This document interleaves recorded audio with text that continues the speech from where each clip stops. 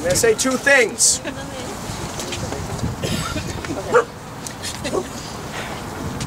There was something of a good friend of mine, I suppose an acquaintance, somebody I respect very highly. He said the role of the white activist, the role of somebody who understands racism and is white.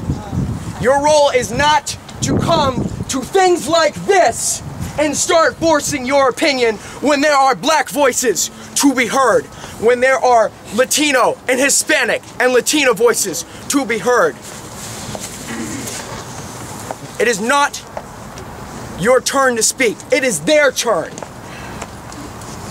And that might upset some of you. But that is a daily reality for every non-white person, every immigrant, every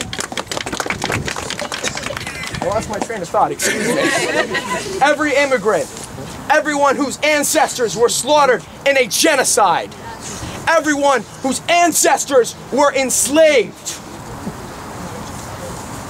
The second thing I'm going to say, I'm going to say to them. Now you said, not I wasn't going to talk to them in a second, but now you said, you said that something to the effect of, not all police are bad. I would, I would agree with that. There was a officer in New York City who decided to testify against the stop and frisk laws. That is a good cop! Yes. That is a good cop! It is not! A good cop is not someone who sees injustice and does nothing! You,